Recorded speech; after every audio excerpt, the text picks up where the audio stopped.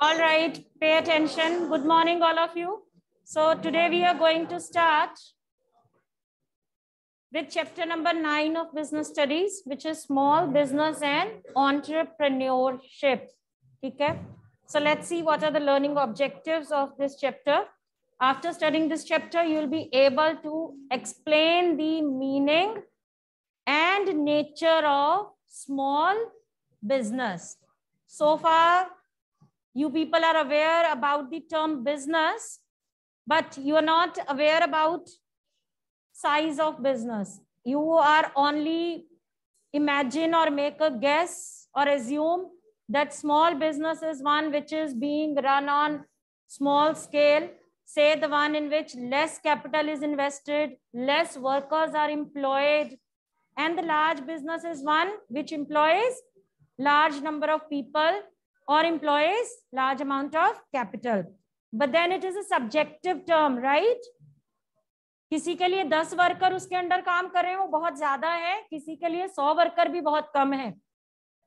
किसी के लिए एक करोड़ की कैपिटल जो इन्वेस्ट हुई है, वो बहुत ज़्यादा है। किसी के लिए एक करोड़ इज़ नथिंग ठीक है? So in this chapter you will be able to define technically the meaning of small business then you will also be able to appreciate the role of small business in India. India में small business बहुत ज़्यादा importance रखता है क्या importance रखता है उसका क्या रोल है what role does it play in the development of Indian economy See, why we have introduced the chapter small business. It has to be an important part of our economy. So what is the role of small business in our development? Then analyze the problems of small business. क्योंकि हम ये देखेंगे कि small business हमारी country की development के लिए बहुत ज़्यादा इंपॉर्टेंट है, ठीक है तो उनकी जो प्रॉब्लम्स है, हम उनको एनालाइज करेंगे आफ्टर दैट गवर्नमेंट किस तरह से स्मॉल बिज़नेस को असिस्ट करती है फाइनेंशियल असिस्टेंस प्रोवाइड करती है कुछ इंसेंटिव्स प्रोवाइड करती है specially to the small business situated in rural and hilly areas ठीक है? यहाँ तक आपको लर्निंग ऑब्जेक्टिव्स दिए हैं। ये सिर्फ़ स्मॉल बिज़नेस के हैं। Like I told you a new part three four years back has been introduced by CBSE, which is entrepreneurship development. And believe me, it is a must read, must listen for you people. In this, we will be studying what is entrepreneur, who is entrepreneur, what is entrepreneurship, what is enterprise, okay? what are the features of entrepreneurship, and most importantly, we will be studying about the concept of startups. You have heard of the term startup? For you, for a layman, what does it imply? The business which has just been started up is a startup. No. Legally, startup is not a business which has been recently set up. It may be an enterprise started four years back. Still, it can be categorized as a startup. ठीक है और ये नहीं है कि हर नया business startup है नहीं ठीक है तो स्टार्टअप कहलवाने के लिए कौन कौन से फीचर्स होने चाहिए और एक स्टार्टअप को फंडिंग कहाँ से मिलती है? ठीक है? ये सी uh, अभी बेटे जो हमारी न्यू एजुकेशन पॉलिसी आ रही है उसमें it's not about telling you people ये क्या होता है वो क्या होता है ठीक है? It's really about teaching through different you know arts so you can watch a movie you can see web series to know the concept of startup or funding of startup. There is one web series also, i guess by the name of pictures. ठीक है? TVF पे है free of cost है TVF की कोई आपको subscription नहीं लेनी पड़ती। So if you can take a certain time out of your schedule तो आप उसमें से ये देखिए सीरीज़ तो you will come to know about these concept ठीक है? प्लस टू में हम बच्चों को बोलते हैं, जो हर्षद मेहता की स्कैम सीरीज़ है you have to watch this in order to understand the concept of the stock market. है so you can relate to many terms. ठीक है तो स्टार्टअप क्या होता है? उसकी फंडिंग कहाँ से होती है? ये सारी चीज़ें भी हम इस चैप्टर में पढ़ेंगे। ठीक? But first of all let start up with the concept of small business so there is one story given Romi bags of Manipur is it there in your book who can read it for me Kinjal है आपकी book में? नहीं है? समृद्धि? हाँ you read it please so listen carefully all of you to this story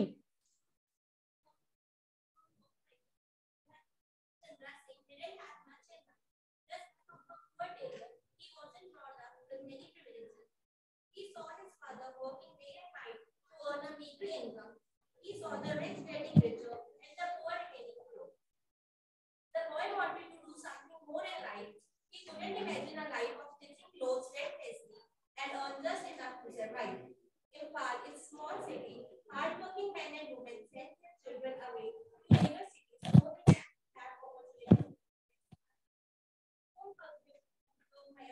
father couldn't afford to send him or even educate him. He just taught him what he knew children. Fabric, stitching, and clothing styles was what was what the boy grew up with.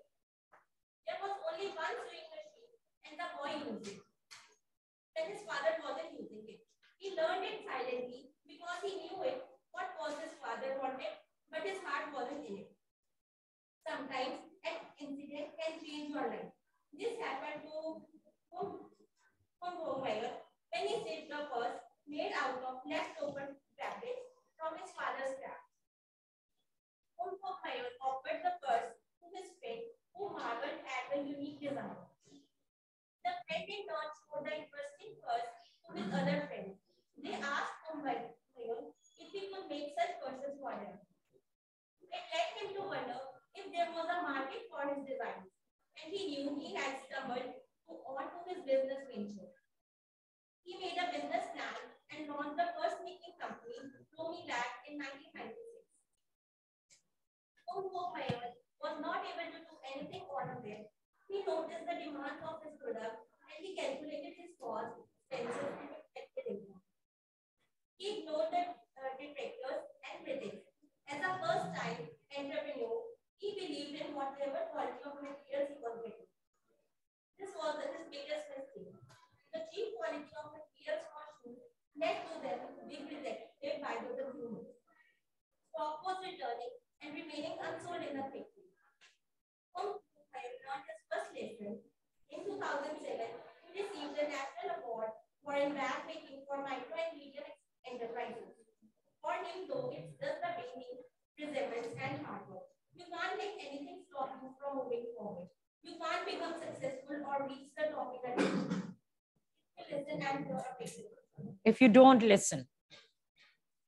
See, so it's about us child. He belongs to a poor family. His father is a tailor. He can't afford to send his son for education to nearby. He's, they are living in village and uh, the father can't send his son to nearby cities for getting him educated. So he taught him only one thing which he knew that is tailoring. Of course, the child's uh, heart was not into it, but there was no way out. So he would use the sewing machine whenever his father was not using it. So one day he happened to collect the scraps जो fabric बचे हुए थे उसका उसने एक purse stitch किया अपने friend को गिफ्ट कर दिया he really liked it he gave to his friend who further liked it a lot and placed an order of uh, purses to him ठीक है so when he uh, saw that yes uh, there can be an opportunity he saw an opportunity in this uh, order you know so he started his venture so as he was uh, you know uh, the beginner into it so he believed in quality जो raw material मंगवाता था उसको लगा ठीक ही होगी इसी से बना दो तो उसके पर्पस की डिमांड कम होने लगी because of poor quality that was when he learned his first lesson that he should be a good listener he should be a, a critics को भी उसको देखना पड़ेगा और अच्छी क्वालिटी की चीज़ें बनानी पड़ेंगी so he learned his lesson and he started making good quality products and ultimately he won award from the government ministry. So, ऐसा नहीं है कि ऐसा it's not a true story this has happen to many person और हम ऐसे भी नहीं कह सकते, एक अपॉर्चुनिटी आई, सबको थोड़ी ना मिलती है। अगर उसने भी वो पर्स देखे किसी ने उसको बोला होता, मेरे को पर्सेस का ऑर्डर मैं देता हूँ, मेरे लिए बनाएगा। इफ़ ही हैड इग्नोर्ड ये तो ऐसी मज़ाक कर रहा है, ये पर्स कौन खरीदेगा? तो वो भी आज यहाँ तक नहीं पहुँच पाता। ठीक है? So this is all about entrepreneurship. The story is about entrepreneurship, the ability of taking risk, the ability of foreseeing, believing in yourself and starting a venture. Okay? So let's see. Small business, small scale industries, they contribute significantly to the development process. Okay, as I already told you. And they act as a vital link in the industrialization industrialization may एक important link है in terms of production employment and exports मतलब हमारी country में जितनी overall industrial production होती है exports होते हैं एम्प्लॉयमेंट जनरेट होती हैं उसमें मेजर कॉन्ट्रीब्यूटर जो है वो स्मॉल स्केल सेक्टर का है ठीक है so small industries they dominate the industrial scenarios scenario in the country with sizeable proportion of labour force and tremendous export potential आप देखो बेटे, अपने आसपास अगर आप अवेयर रहोगे ना, आसपास लोगों की बातों में इंटरेस्ट लोगों के, ये लोग, या लोगों की ऑक्यूपेशन में इंटरेस्ट लोगे you will come to know कि जलंधर में बहुत एंटरप्राइजेस ऐसी हैं जो कि एक्सपोर्ट करती हैं. And they are not large scale all of them belong to small business category ठीक है? तो प्रोडक्शन की टर्म्स में लेबर फोर्स इंप्लॉयमेंट की टर्म्स में, और एक्सपोर्ट की टर्म्स में दे आर मेजर कॉन्ट्रीब्यूटर अच्छा अब विलेज और स्मॉल इंडस्ट्री सेक्टर जो है इंडिया में, उसमें आठ तरह की इंडस्ट्रीज़ आती हैं. ट्रेडिशनल भी और मॉडर्न भी. नाम से हमें यह लगता है ना village and small industry sector में क्या होगा? ट्रेडिशनल इंडस्ट्री होगी। जब हम, मैं कहूँ कि village and small industry sector है इंडिया में, बहुत इंपॉर्टेंट है। तो हो सकता है आपके माइंड में आए अच्छा विलेज एंड स्मॉल इंडस्ट्री, इसमें क्या, वो छोटी छोटी मशीनें लगी होंगी, सारी लेबर दिख रही होगी, कोई बड़ी बड़ी मशीनें नहीं लगी होंगी, है ना? बट बेटे it consist both of traditional as well as modern small industry इस सेक्टर में आठ सब ग्रुप्स आते हैं। जो विलेज एंड स्मॉल इंडस्ट्रीज़ हैं it comprises of eight sub groups which are handlooms सुना हुआ है? हैंडीक्राफ्ट्स कॉयर कॉयर के जैसे मेट्रेसेस वगैरह बनते हैं। सेरिकल्चर किसको बोलते हैं सेरिकल्चर सिल्क की प्रोडक्शन को। Khadi and village industry small scale industries and power looms power looms मतलब वो टेक्सटाइल इंडस्ट्री जिसमें हैंड लूम नहीं लगा। मतलब हाथ से चलने वाली लूम नहीं है पावर से चलने वाला लूम लगा वॉट इट तो जो लास्ट दो सेक्टर है they come under modern industry small scale and power loom where as बाकी जो है handloom handicraft coir sericulture all these come under traditional industries ठीक है? सो so, ये जो इंडस्ट्री मिला के ये जो आठ सब ग्रुप्स हैं टोटल एम्प्लॉयमेंट में बहुत ज़्यादा कंट्रीब्यूट करते हैं। ठीक है?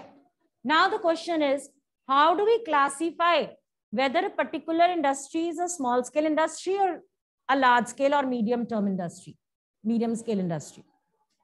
There are many parameters. Any one of you, किस पैरामीटर क्राइटेरिया के बेसिस पर हम क्लासिफाई कर सकते हैं कि ये इंडस्ट्री स्मॉल स्केल है या लार्ज स्केल है? हाँ? Capital okay one is capital production मतलब कितनी टर्नओवर साइज़ मतलब साइज़ ऑफ़ फॉर्म तो बेटे किससे पता चलेगा?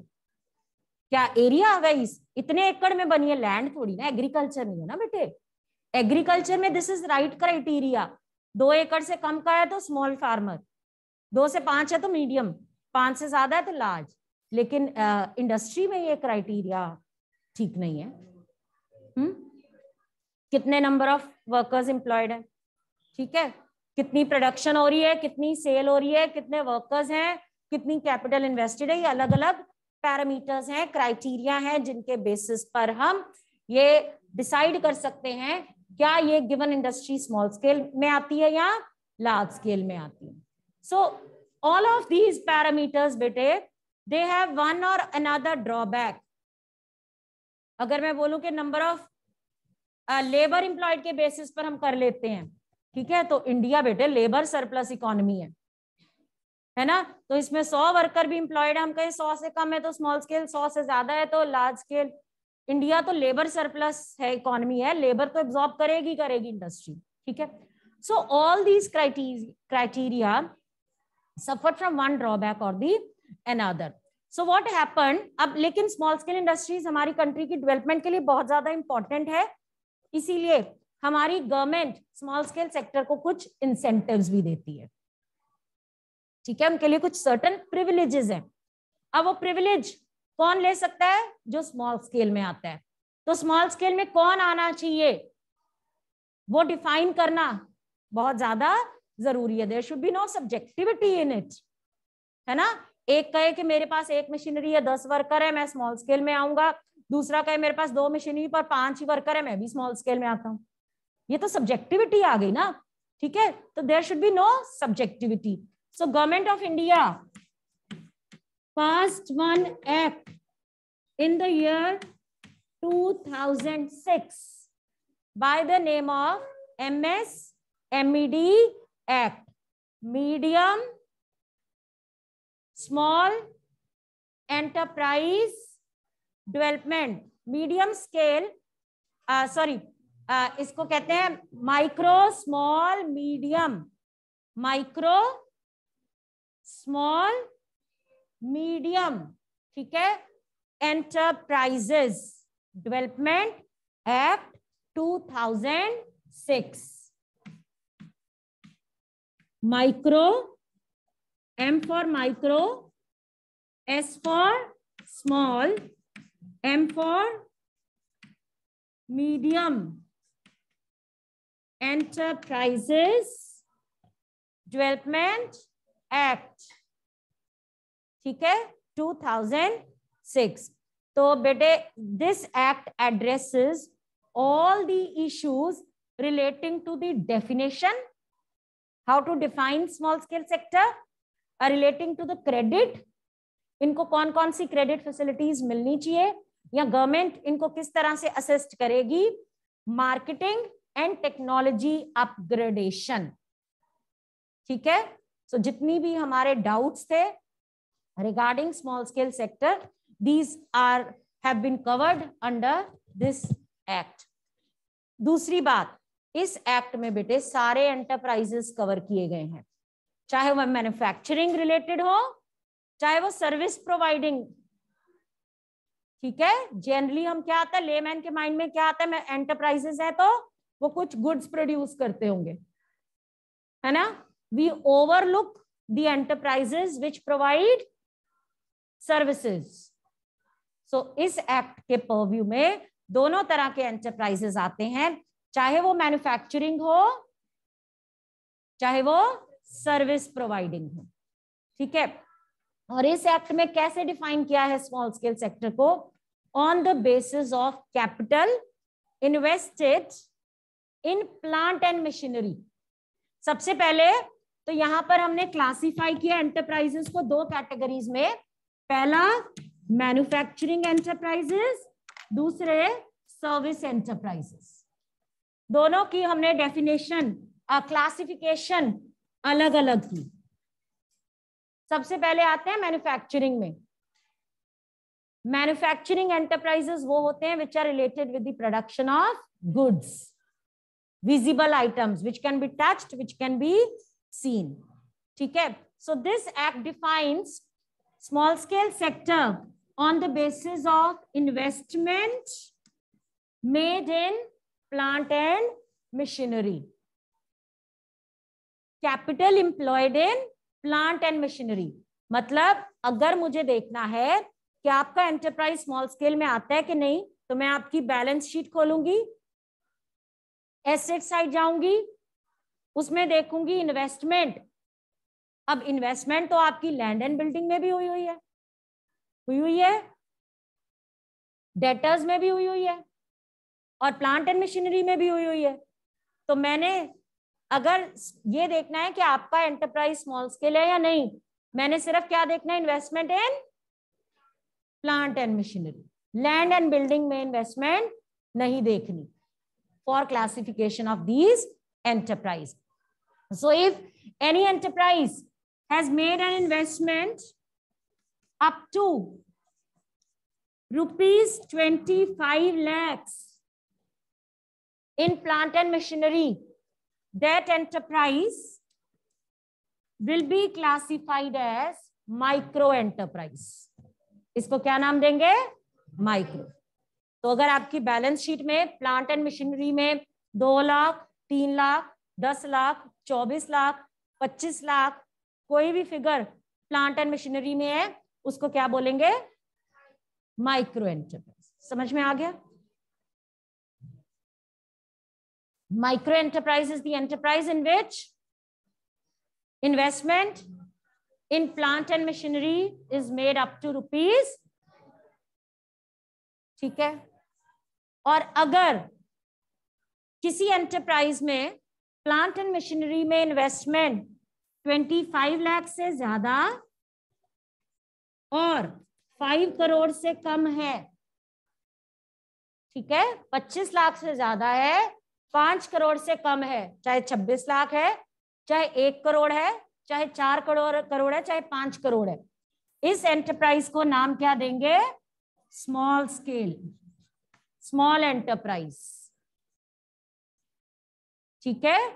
The bracket is big enough but then it has to be there ठीक है? Thirdly, if the investment in plant and machinery exceeds rupees five crore five to ten के बीच में है, पाँच से दस करोड़, लाख करोड़ के बीच में है तो इस एंटरप्राइज को क्या कहेंगे? मीडियम एंटरप्राइज दस करोड़ से ज़्यादा है तो लार्ज ठीक है? गॉट इट बेटे? Under this act enterprises has been classified into two categories manufacturing and service manufacturing enterprise में तीन तरह की इंडस्ट्रीज़ हैं माइक्रो स्मॉल मीडियम और इसमें क्राइटेरिया क्या लिया है? Investment made in plant and machinery if the investment in plant and machinery is up to rupees 25 lakhs that is classified as if it exceeds and is less than it is classified as and if it exceeds 5 crore less than 10 crore classified as medium enterprise if it exceeds 10 crore large वो इस act के purview में नहीं आएगी ठीक है? दूसरी तरह के एंटरप्राइज कौन से होते हैं? Service service enterprises which provide services services could be any बेटे. बैंकिंग सर्विस हो सकती है ड्राई क्लीनिंग सर्विस हो सकती है, कुछ भी एनीथिंग अब सर्विस एंटरप्राइजेस को भी तीन कैटेगरीज में क्लासिफाई किया है. Micro small and medium micro small and medium micro enterprises कौन से हैं? अच्छा इसमें सबसे पहले क्राइटेरिया क्या लिया है? इसमें क्राइटेरिया क्या लिया था? इन्वेस्टमेंट इन इसमें लेंगे क्योंकि ये सर्विस प्रोवाइड कर रहा है ना? सर्विस के लिए कोई मशीनरी की रिक्वायरमेंट नहीं होती। But what we require is equipments कोई भी फर्म आपको सॉफ्टवेयर देती है।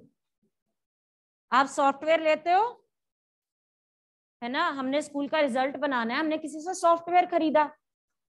ये जो कंपनी सॉफ्टवेयर प्रोड्यूस कर रही है one thing it is producing service and for producing that it requires computers equipments yes computer को हम प्लांट एंड मशीनरी नहीं बोलेंगे, क्या बोलेंगे? इक्विपमेंट्स ठीक है?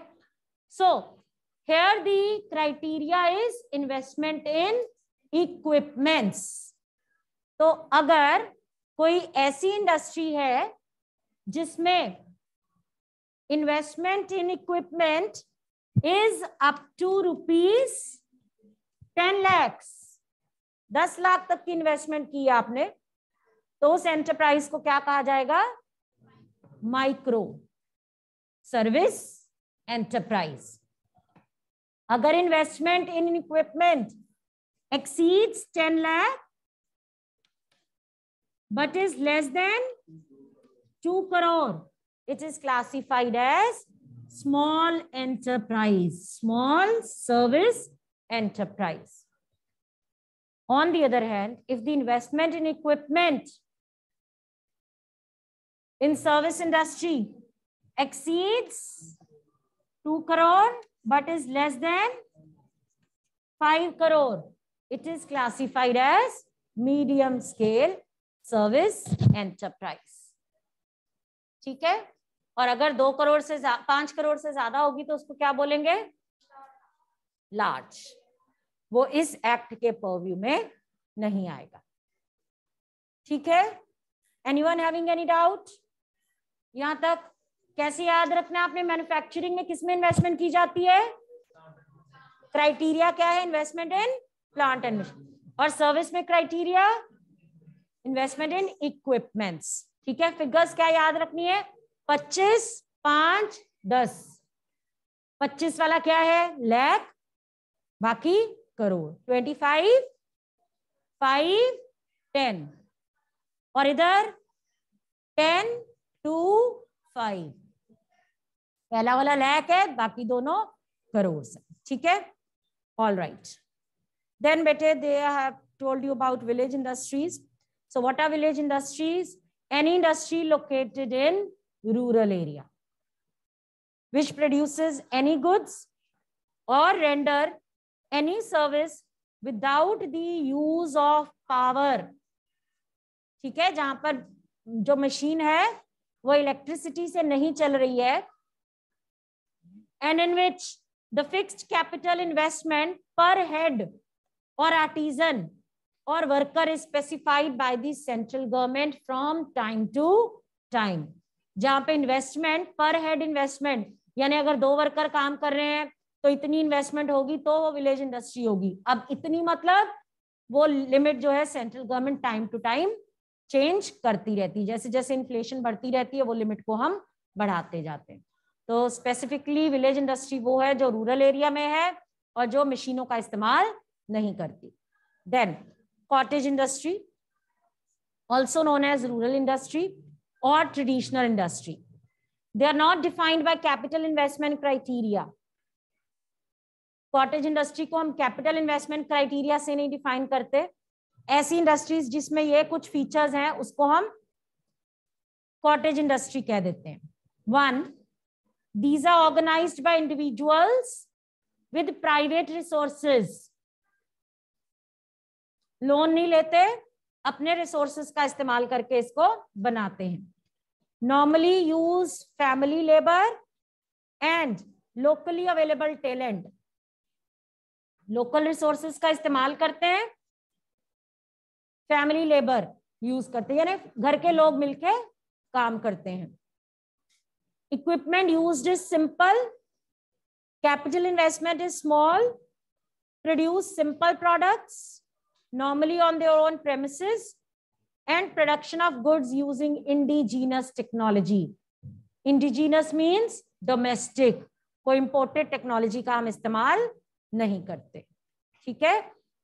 So tomorrow we will be discussing about the role of small business in India that's all for today anyone having any doubt